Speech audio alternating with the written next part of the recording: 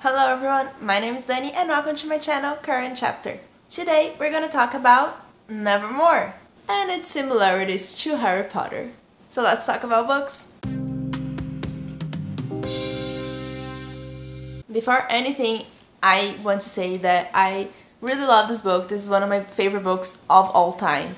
And I'm also a huge Potterhead. I adore Harry Potter. So when I say that there are, there are a lot of similarities, I'm not saying that in detriment to either of those books. I think they're both fantastic and I loved seeing all the similarities.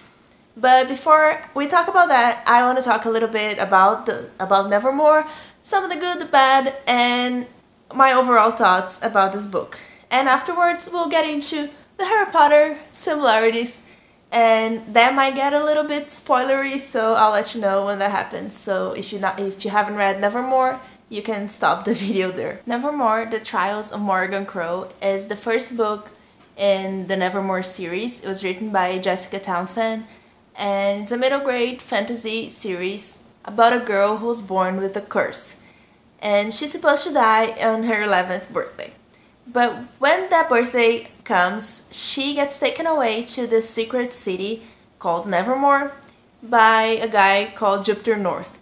And he wants her to participate in the trials to become a member of the Wundrous Society, which is something that she didn't know existed before, and we don't know anything about it, so we learn everything with her, which is amazing. Uh, she goes along with him, and that's really her only chance to survive Otherwise, she would have to come back to her city and face her fate and face the curse. So she goes there to participate in those trials. The first thing I want to say, I, it's not necessarily a positive or negative of this book, and it is very similar to Harry Potter. Just in some small things that you pick along the way. And I'm not saying that Harry Potter is the most original book ever written also, it's just that it's one of my favorite books, so I couldn't help but compare it. So the similarities were actually a positive thing for me, just because they were done really well and uh, it wasn't copying or anything, it's just similar and it reminded me of something that I already loved. But I can see how this could be a negative thing for some people. So if you don't like Harry Potter, maybe you will find some things that you don't like in Harry Potter here, so some of the things that could be viewed as more negative about this book, just so you go into it knowing both sides and what to expect. One thing that confused me a little bit about this book was that uh, Morrigan, she lives in a, a kind of magical world and she gets taken to Nevermoor, which is a more magical world. So I got a little bit confused about what was actually new to her and what wasn't because everything was new to me. So when she saw something magical in Nevermoor, I wouldn't know if it was something completely new to her or if that was just different where she comes from. Uh, that was a little bit confusing to me. And also there's so many places and they describe so many continents and where everything is that a map would be highly appreciated. but I just really like maps. So I don't know if that's really necessary. We'll see in the next books of the series, but I don't know, I think it would be really fun to have a map here in this first book. The second thing I want to say is that the secondary characters, especially Hawthorne, she's her best friend, that they are not very well developed. So Hawthorne, for example, he's kind of just there to be her friend. He has a little bit in the more towards the end of something of himself, and that was really cool to see. But I don't think that's such a big problem because this is a series and I really think that this is going to be developed more in the rest of the books. I really hope it will, but that's what I'm expecting. I guess it could have been explored more here, but it wasn't that big of a deal for me at least. And the last thing that I'm gonna say that's kind of towards the negative is that the, some of the resolution of the conflicts were just too easy. There was a lot of build up for some things in the book and when it really came to it, it was just resolved really easily.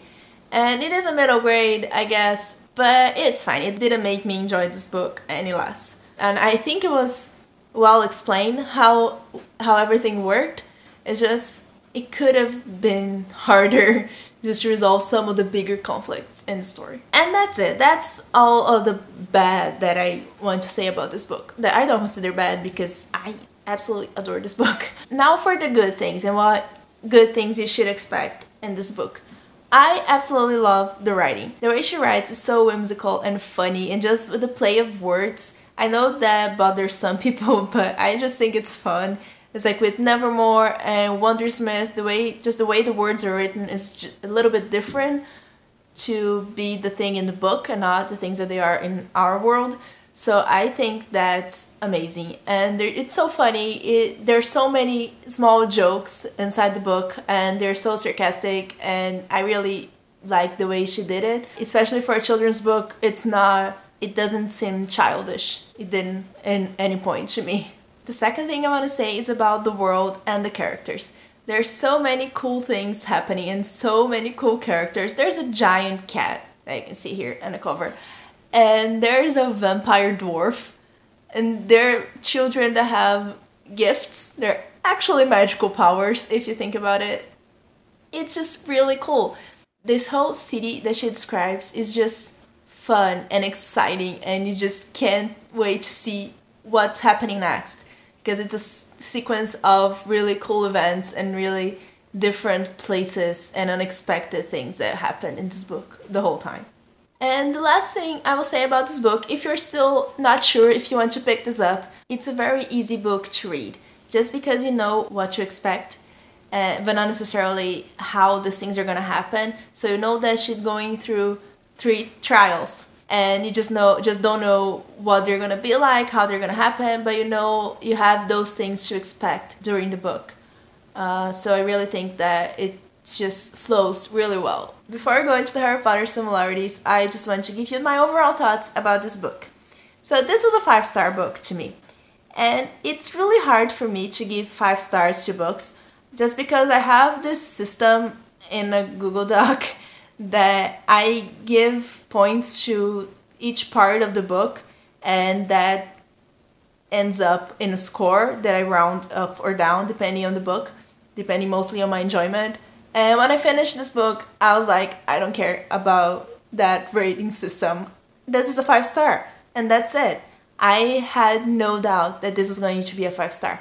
And when I did, I later I did my little system and it ended up with 4.9. So it's fine. It's a five star book. I just had so much fun reading this book. The world is fascinating. The characters are hilarious. The plot is intriguing. It's everything you could expect. I'm so excited to pick the sequel. You have no idea. There's there were some things while I was reading this book that I was questioning a little bit. Like, wait, but she shouldn't she be thinking about this? And like two pages later, there it was. That happened at least three times in the book. Where like at the right moment I was thinking about this thing, the the author would go and like, oh no, you're thinking about it. There you go. That's your answer and it's just amazing. So I left the book with no questions about what happened here. Just excited to know what's going to happen next. So I'm really excited to pick the sequel. I really recommend this book so much. If you like middle grade, if you like adventure stories and whimsical stories, this is an amazing book. And now for the part everyone was waiting for. So like I said, this might get into a little bit of spoilers just because I have a lot of thoughts about this book from beginning to end. And what I did here, I was basically just putting a post-it note whenever something reminded me of Harry Potter, even if it was a small thing or just a big thing. So I picked 10 of those things to share with you. And as I said, this doesn't mean that this is copying Harry Potter in any way. It's just things that reminded me and that those things happen in many books I don't think it's something that just happened in Harry Potter, but I just thought it was a fun thing to do because both books are books that I adore, so why not see what they have in common? Maybe those things that they have in common are things that will make me like a book. Who knows? So the first thing is this book is about a cursed child. I'm not going to get into the cursed child book but this book is about a cursed child, so that of course reminded me of Harry Potter and the Cursed Child, but also just besides that, she lives in a in a family that doesn't appreciate her, that doesn't treat her well, that she get blames for everything that happens. That's really Harry for me in the first book with the Dursleys. The second thing that reminded me of Harry Potter was the 11th birthday thing. So something happens in her 11th birthday. She meets a strange man who takes her to a new world and gives her a birthday present. So Harry got an owl from Hagrid and she got an umbrella with a bird also, but from Jupiter North. That also reminded me a lot. The next thing is when Martha here in this book comes with a cart, cart filled with delicious looking treats. For me it was just like the trolley witch in the Hogwarts Express coming with the delicious looking treats. That was very similar to me as well. Then we have the Wundersmith. Right when he's presented to Morrigan, he's presented just like Voldemort. It's a big bad guy who disappeared some years ago and no one really knows if he's gone. Some people believe that he's gone, some people think that he's going to come back. It's he's Voldemort. And then we have Jupiter North.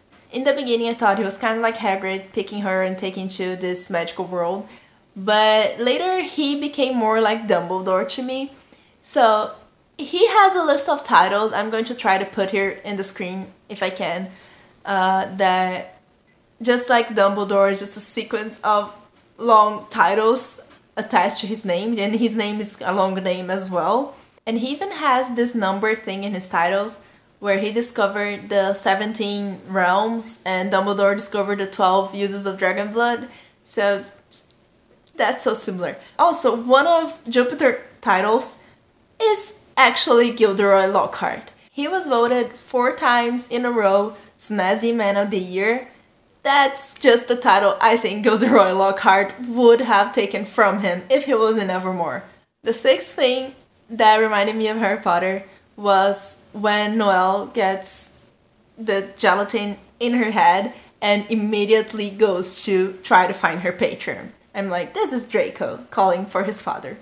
The next thing that reminded me so much about Harry Potter was when Jupiter says, I don't remember if he says that in the book or if it's just something that she says later, that she can't visit some parts of the hotel, just like they can't visit some wings in the castle. So the next thing that reminded me of Harry Potter was the trials. At first, I just thought of them kind of like Quidditch, where kids are playing something that can potentially potentially kill them but then I thought that's basically the Triwizard Tournament. They have actual tasks to pass, like actual trials, just like in the tournament. It's basically the same. The next thing is about the Fright Trial. So that's never really stated here, but it really sounded like they were facing their worst fear, which just meant that the Fright Trial is a boggart. They just was they were just put in front of a boggart and had to get out of there. And finally, the last thing that reminded me of Harry Potter in this book was the ending, when they're not going home, not really.